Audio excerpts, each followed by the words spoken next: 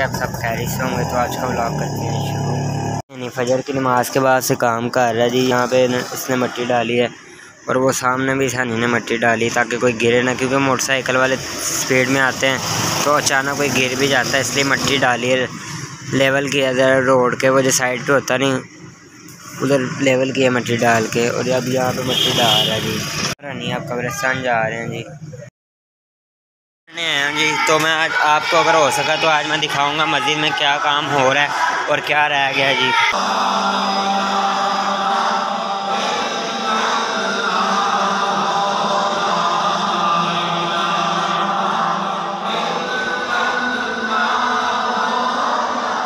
जुम्मा पढ़ लिए तो आप सबको मैं जुम्मा तो मुबारक। तो मैं आपको मस्जिद दिखाता हूँ जी क्या काम हो गया और क्या रह गया जी। माशाल्लाह, टाइल लिखाई वाली भी सारी लग गई है।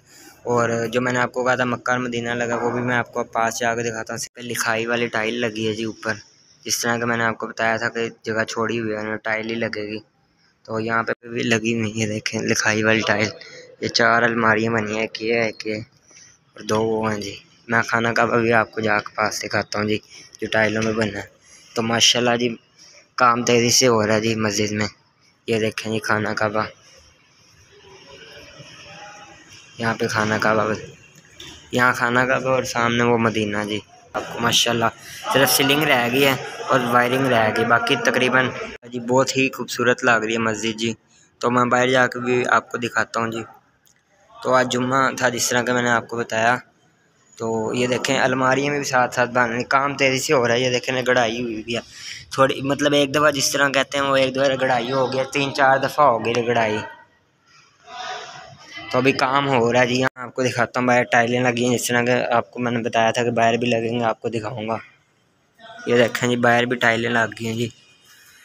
तो यहाँ पे लिखा हुआ जी सईदना अली मुर्तज़ा, माशाल्लाह जी। तो चारों दरवाज़ों के ऊपर जी हज़रत का नाम लिखा हुआ है तो ये देखें जी, माशाल्लाह। सिर्फ़ छत रह गई जी पेंट होने वाली है सीलिंग होगी, वो आपको दिखाएँगे। ये देखें जी, माशाल्लाह, यहाँ पे भी लिखाई वाली टाइल लगी है जी। तो काम तेज़ी से हो रहा है जी, मस्जिद में। तो मेरा आप सामने रह गया जी, और थोड़ा सा और काम रह गया जी। यहाँ पे टाइल लगेगी, यहाँ पेंट होगा, वो भी आपको मैं दिखाऊँगा जी। माशाल्लाह कमेंट में ज़रूर लिख दे जी। तो यहाँ पे लिखा हुआ है जी, हज़रत उमर। और यहाँ पे क्या लिखा हुआ है जी, हज़रत अबू बकर, हज़रत अबू बकर, हज़रत उमर, हज़रत उस्मान और हज़रत अली मुर्तज़ा। घर तो जिस तरह के मैंने आपको मस्जिद दिखा दिया जी तो मैं आपको दिखाता हूँ यहाँ पे क्लासिक और पहन के भी न्यू मॉडल आए हैं जी तो मैं दिखाता हूँ। के भी नहीं आई हैं जी, ये देखें जी। ये देखें जी। माशाल्लाह, इनके भी आई हैं काफ़ी ज़्यादा। और ये घड़ी के जी, क्या कहते हैं, पट्टे जिन्हें कहते हैं, पता नहीं। ये देखें।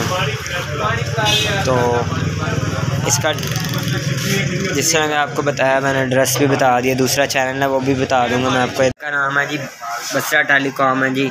तो डिस्क्रिप्शन में उसका लिंक दे देंगे तो आप लोग विज़िट करें उस पर तो लोगों को अच्छा लगा होगा। इसी के साथ वीडियो को लाइक कर दें। जो हमारे चैनल पर नए हैं काइंडली सब्सक्राइब करना मत भूलिए। तो मिलते हैं नेक्स्ट ब्लॉग में। तब तक के लिए अल्लाह हाफिज़। दुआओं में याद रखिएगा।